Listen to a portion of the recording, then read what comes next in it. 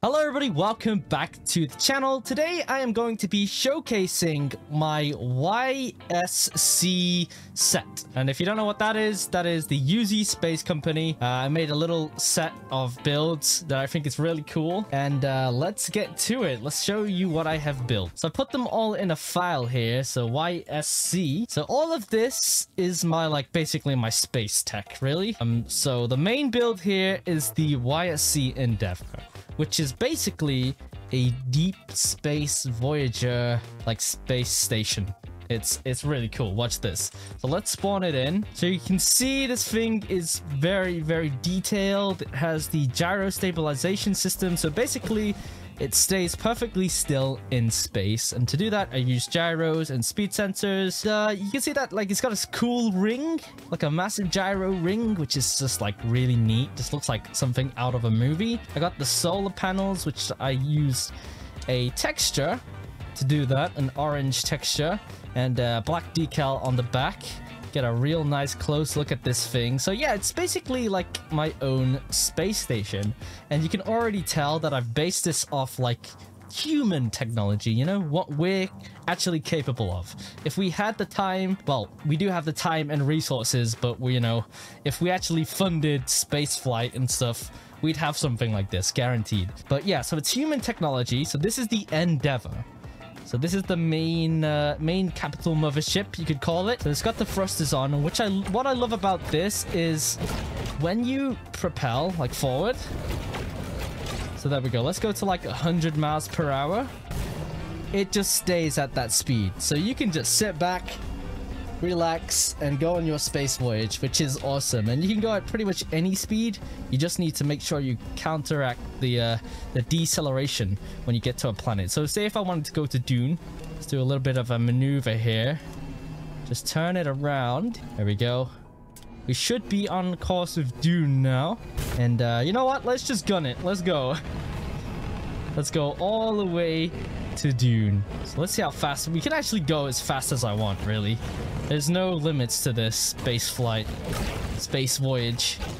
But yeah, so I do have reverse thrusters, which I can activate now, which will slow me down. But I think the coolest thing to do is like this really neat maneuver. So what I'm going to do is turn the ship 180 upside down and then actually flip it over like this so what we're trying to do here is get the thrusters facing the, the way we're going. And then boom. Deceleration. Look at that. It'll take a few seconds. Wow. it's like a movie, right? It's so cool. And there we go. We have come to a stop just over the planet Dune. Now, you may notice these little claws on the, uh, the modules here. Those claws are for docking. Now, I've already done space docking with a friend, Soul Reaper. But uh, I've really like spent this entire week building different modules for different purposes. And yeah, so let's just pull out all the toys. Okay, so the first module we have is the YSC landing module. So this is basically based off a lunar lander. And uh, yeah, so all of the uh, modules have this RCS system on. So it just, you know, keeps me stable. All the gyros are keeping me like perfectly still in space, which is good. And then I have my little deployment thing, which is what like what you actually need to connect to the, the claw here. And you can see that little distance sensor in the claw. So what that is, it will detect when I'm close enough to um, to the you know inside the claw and then it will clamp on and there's also a distance sensor on the actual module as well because that distance sensor turns off all the gyros we don't want the gyros or any of the stabilization happening whilst we're docked onto the ship because that would just throw me off course when I'm trying to propel forward. So yeah, a little bit of logic, but here we go. Let's try this docking. Can we do this first time? Yes, we probably can. Here we go. Just gotta ram it in there just a little. Oh! okay, yeah. So you need to be perfectly level. Oops. Okay, this is fine. This is fine. This is... There we go. Repair. Try this again. So yeah, try not to be on an angle. It's probably the, the way I have those like rocket thrusters in the way. But uh, it still works. I've tried this many times. Like this entire set, the YSC set, it's like took me a week to do. And I've had some help. um, from my community. Shout out to a uh, player called VacXT who's helped me on these modules. Okay, can we get this? Oh my god, no. What's happening? Okay, here we go. Come on. It's so bizarre because you actually like need to use the camera and look around here. Like you need to get the angle perfectly right. I think that's good enough. Want to clamp? There we go. Okay, so successful. We are now clamped on to the Endeavor. And yeah, so that's the first module. Pretty cool indeed. And uh, let's show you the module itself in action. So what I need to do is go back to the Endeavor, release the uh, release the module. There we go. All right, get back into the module. And then let's show you the actual module in action. So excited to show you this, guys. So here we go. We want to try and um, be above the planet, like more in the middle. Because the altitude sensors are a bit goofy. Um, when it comes to planets, at least. Anywhere else, they're fine. But when it comes to planets, they, uh, they're not always the same every time. I want to try to be dead center when you enter the planet. But watch this, guys. I actually have a working decouple ring. Three, two, one.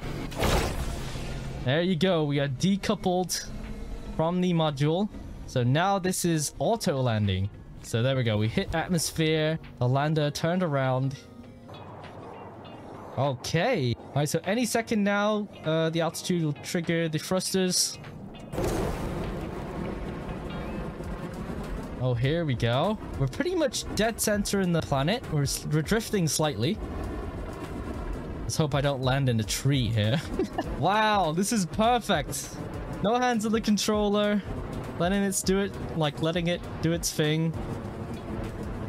All we do is just sit back, relax, and gently we are down on the planet. There we go. And the solar panel, the solar panels deploy.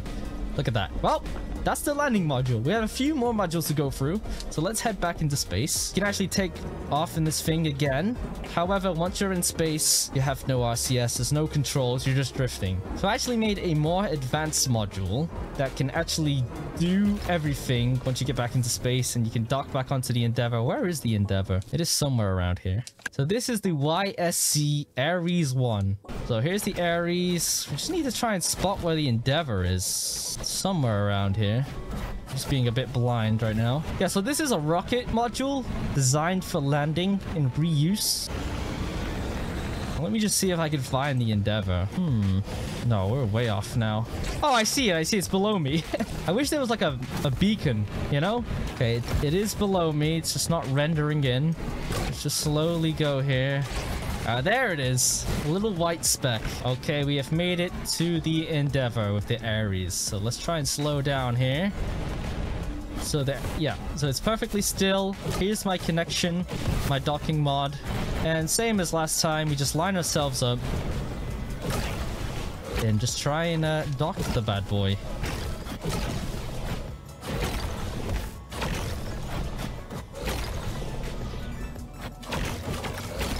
Takes a little bit of getting used to. Like, maybe I'll snap this claw, but hopefully we don't. Ooh, actually, it's the wrong way around because the thruster is a bit long. It's actually colliding with the ring there.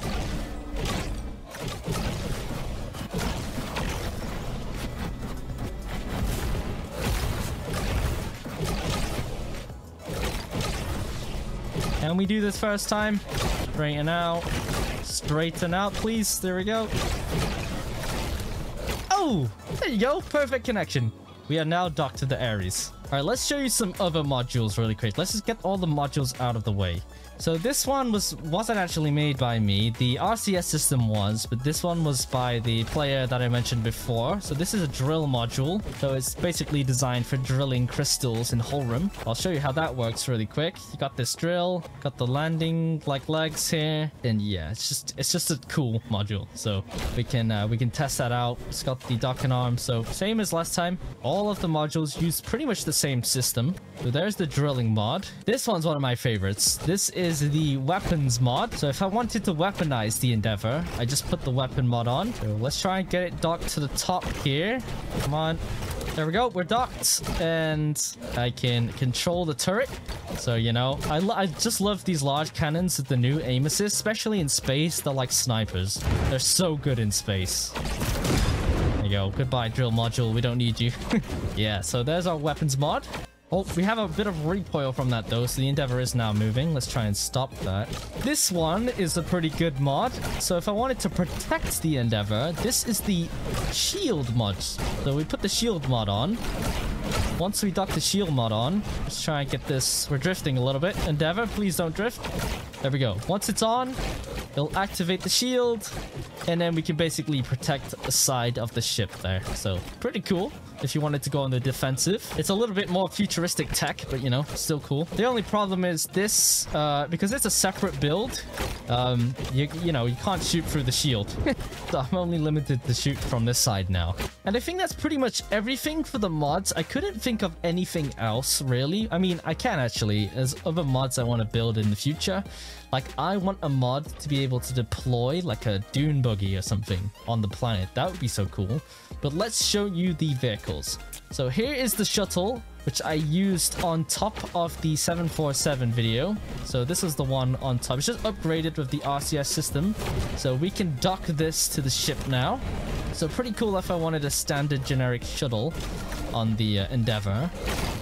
But I actually wanted a huge upgrade from the original shuttle, so I built the Commodore. So this is my own design, inspired a little bit from the uh, Interstellar movie, the shuttle they use on there. But on this one is cool because it uh, actually has passenger seats for Chirpos. I wish I could actually pick up Chirpos in this thing, but it has passenger seats for some Chirpo astronauts and landing gear which is nice. So let's dock this one onto the Endeavor. All right, we're actually drifting a little bit now. Uh-oh. It's actually really difficult to dock upside down, so what I'm going to do is rotate the ship. And you can see how, like, if you had a massive mothership, you could have as many docking modules as you wanted. Like, you could potentially have, like, 12 of these. I mean, if you wanted to use complexity mod and just go for a full-out fleet, that would be awesome. Let's try and eyeball this. And then once we get everything docked, let's go on a few missions. Oh, this looks good, guys. This looks good. Come on. Yes, the Commodore is docked. Okay, so this is our... Uh, our mods in place today. So let's try and get in the right seat. So many seats now. Our first deep space voyage is to Micro Terra. Let's do it. Let's go. All right. Three, two, one. Activate thrusters. Ignite. Let's try and get 100 miles per hour going here. Maybe more if we need. Now, if you want to get this right and do this yourself, I do recommend like putting the strength down a little bit on the hinges, the claws, because if they're 100% strength, they can be so rigid that they just snap and the collisions break. So if you give a tiny bit of looseness to them, I think my strength is at 70. It just, uh, it's a tiny bit of flex that kind of doesn't break which is good. All right, let's go a little faster. This is true deep space exploration. And then after we do this mission, guys, and I showcase the capabilities of the Commodore and the Ares. Oh, we're going pretty fast to Micro Let's start decelerating. Okay, come on, come on. We might overshoot this. We're probably gonna overshoot this. Slow down, slow down, slow down. Oh my god. We're going still 200 miles per hour. Okay, we're slowing down slowly. Okay, I can hear the bit of collisions going on. That's not good. Oh, something broke. I don't know what it was. Oh, it was the claw on the Commodore. Oh, it's not perfect, but it's better than magnets. I think magnets, doing this with magnets is so lame. All right, we are here.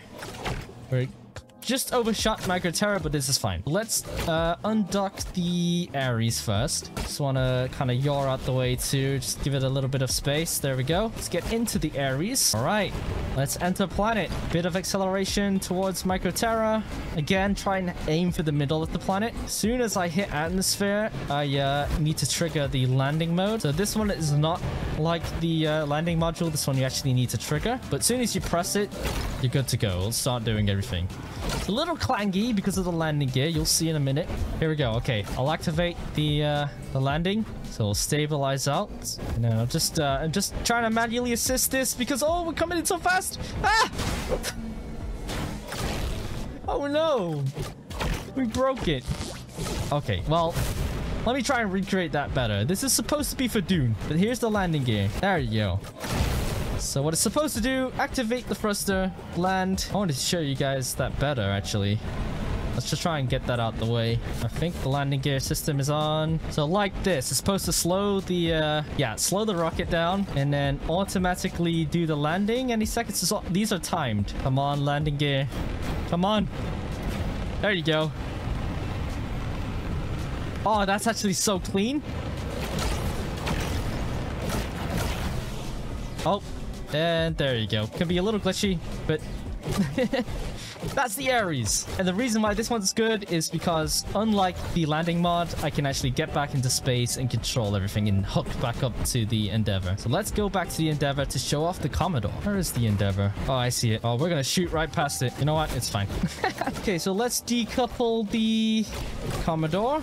Nice. There we go get into the Commodore, and let's enter atmosphere with this one. So this is a different approach to transport and landing. Obviously, it's designed like a shuttle, so I need to find a landing spot, like a runway. And not many options on Microterra. it's a pretty small planet. I mean, there's a few flat areas. Okay, I think I see one. Okay, get the landing gear out. Landing gear is out. Okay, this is a nice flat area. And then obviously, there we go. Mission successful. Commodore has landed. So that is basically all the vehicles and modules from my uh, Yzuei Space Company.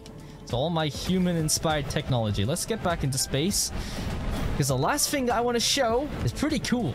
Okay, so you notice how my character is in this cool astronaut like set? That's basically because I have built this thing. A space pack. This is so cool. It's all stabilized, all functioning, and yeah, so cool.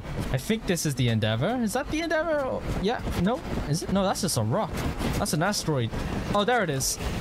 Just a standard astronaut jetpack like they use in the movies. This one, unfortunately, cannot dock, but I think it's just cool to have anyway in the set.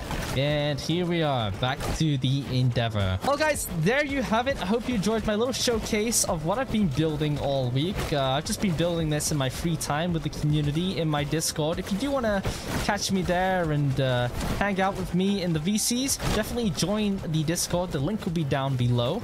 And if you have any more ideas, what like new modules I could build or anything I could add on to the to this ship, definitely leave them down below. And whilst you're at it, why not consider subscribing? It's free. But anyway, I hope you enjoyed, and I'll see you guys in the next one. Bye!